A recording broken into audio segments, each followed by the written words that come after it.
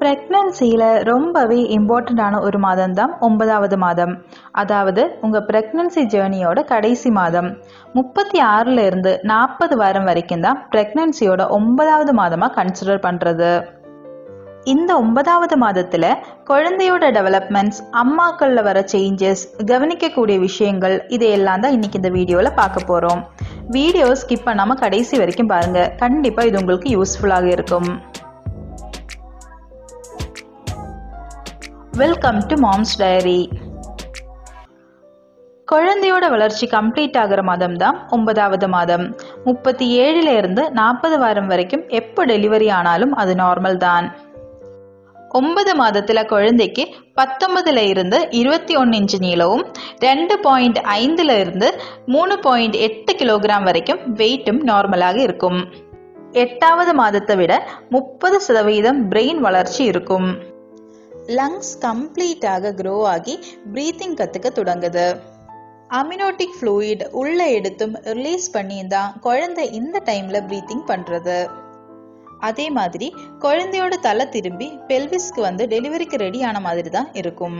ஒன்பதாவது மாதத்துல குழந்தையோட வளர்ச்சி கம்ப்ளீட் ஆனதுனால யூட்ரஸ்ல அவங்களுக்கு ஃப்ரீயா மூவ் ஆக முடியாது. அதனாலே இந்த டைம்ல குழந்தையோட மூமெண்ட்ஸும் கம்மியா தான் இருக்கும். குழந்தையோட மூமெண்ட்ஸ் கவனமாக செக் பண்ண வேண்டியது அம்மாவோட பொறுப்பு. ஒரு மணி நேரத்துல எட்டுல இருந்து பத்து அசைவுகள் இருக்கான்னு உறுதி பண்ணிக்கோங்க. ரெண்டு மணி நேரம் விட்டு விட்டு இந்த மூமெண்ட்ஸை கவனிக்கலாம். டைஜஸ்டிவ் சிஸ்டம் கம்ப்ளீட் வளர்ச்சி ஆனதுனால மக்கோனியம் ப்ரொடியூஸ் பண்ண வாய்ப்பு இருக்கு. இந்த மக்கோனியம் தான் குழந்தையோட வயிற்றுல இருந்து முதல் முதலாக வெளியில வர்றது. அதே மாதிரி இந்த ஒன்பதாவது மாதத்துல பிளாசென்ட குழந்தைக்கு ஆன்டிபயோட்டிக் ரிலீஸ் பண்ணி கொடுக்குது. இது இன்ஃபெக்ஷன்ஸை தடுக்கிறதுக்கும் வெளியில வந்த பிறகு இம்யூனிட்டி பவர் கொடுக்கறதுக்கும் ஹெல்ப்ஃபுல்லாக இருக்கும். குழந்தையோட ஸ்கின்னில் ப்ரொடெக்டிவ் கவச்சமாக இருந்த சின்ன சின்ன ஹேர் ரிமூவ் ஆகி ஸ்கின் சாஃப்டாக மாறுறதும் இந்த ஒன்பதாவது மாதம் தான் இப்போ ஒன்பதாவது மாதத்துல அம்மாவோட சேஞ்சஸ் என்னென்னு பார்க்கலாம்.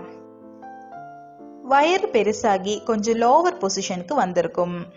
எட்டு மாதம் வரைக்கும் குழந்தையோட தலை அம்மாவோட செஸ்ட் பார்ட்ல இருந்ததுனால அம்மாக்கு மூச்சு முற்ற ஒரு ஃபீல் இருந்திருக்கும். ஆனா ஒன்பதாவது மாதத்துல குழந்தை ஹெட் டவுன் பொசிஷனுக்கு வர்றதுனால அந்த ஃபீல் அம்மாக்கு மாறிடும். அதற்கு பதிலா பிளாடர்ல ப்ரெஷர் அதிகமாக இருக்கிறதுனால யூரின் பாஸ் பண்ற டெண்டன்சி அதிகமாக இருக்கும். இந்த டைம்ல யூரின் போகாமலோ தண்ணி குடிக்காமலோ இருக்கிறது யூரினரி இன்ஃபெக்ஷன்ஸ் வர காரணமாக இருக்கும். நம்ம பாடி டெலிவரிக்காக ப்ரிப்பேர் ஆகுறதுனால மசில்ஸும் ஜாயின்ஸும் எல்லாம் நல்லாவே லூஸ் ஆகிட்டு இருக்கும். பேலன்ஸ் கம்மி ஆகிற மாதிரியே ஒரு ஃபீல் இருக்கும். அதனாலே ரொம்ப நேரம் நிற்கிறதும் நடக்கிறதும் எல்லாம் விட்டு விட்டு கேர்ஃபுல்லாக பண்ணலாம். தேவையான அளவுக்கு ரெஸ்டும் எடுத்துக்கலாம். பெரும்பாலான பேருக்கும் தூக்கம் கம்மியாக இருக்கும். அதுக்காக தூங்காமலும் இருக்காதீங்க. எட்டு மணி நேரம் தூக்கத்தை உறுதி பண்ணிக்கோங்க. காலில் நீர் வர்றது நார்மல் தான். உப்பு எடுத்துக்கிறது கம்மி பண்ணுறதும் தண்ணி நிறைய குடிக்கிறதும் ஒன் ஹவர் ஆச்சு விட்டு விட்டு நடக்கிறதும் இந்த காலில் நீர் வர்றது கம்மி பண்ண ரொம்பவே ஹெல்ப்ஃபுல்லாக இருக்கும். சுகர் ப்ராப்ளம் இருக்கிறவங்க ரைஸ் ஃப்ரூட்ஸ் எல்லாம் அவாய்ட் பண்ணிக்கோங்க. அதே மாதிரி வெஜினல் டிஸ்சார்ஜ் திக்காகவும் அதிகமாகவும் இருக்கும். கான்ஸ்டிபேஷன் இருக்க வாய்ப்பு இருக்கு. ஹார்மோனல் சேஞ்சஸ் இருக்கிறதுனால மூடு சேஞ்சஸும் இருக்கும். சில பேருக்கு லோவர் பார்ட் பெயின் இருக்கும். பிரஸ்ட் லூஸ் ஆகி வெயிட் இருக்கிற மாதிரி இருக்கும். ப்ரெஸ் பண்ணால் ஒரு எல்லோ லிக்விட் கொலஸ்ட்ரம் லீக்கேஜ் ஆகிற மாதிரி இருக்கும். இது குழந்தைக்கு ஃபீட் பண்ணுறதுக்கு அம்மாவோட பாடி ரெடி ஆயிடுச்சுன்னா காமிக்குது.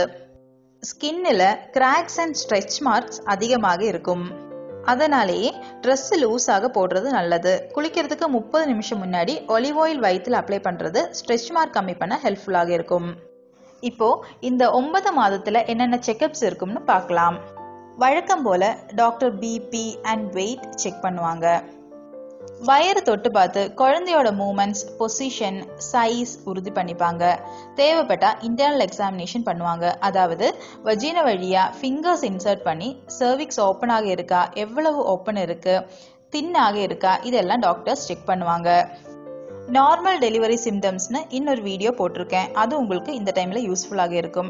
லிங்கை டிஸ்கிரிப்ஷன் பாக்ஸில் மென்ஷன் பண்ணியிருக்கேன். இன்னைக்கு இந்த வீடியோ உங்களுக்கு யூஸ்ஃபுல்லாக இருந்திருந்தால் சேனலை இப்போவே லைக் பண்ணுங்கள் கமெண்ட் பண்ணுங்கள் சப்ஸ்கிரைப் பண்ணிக்கோங்க.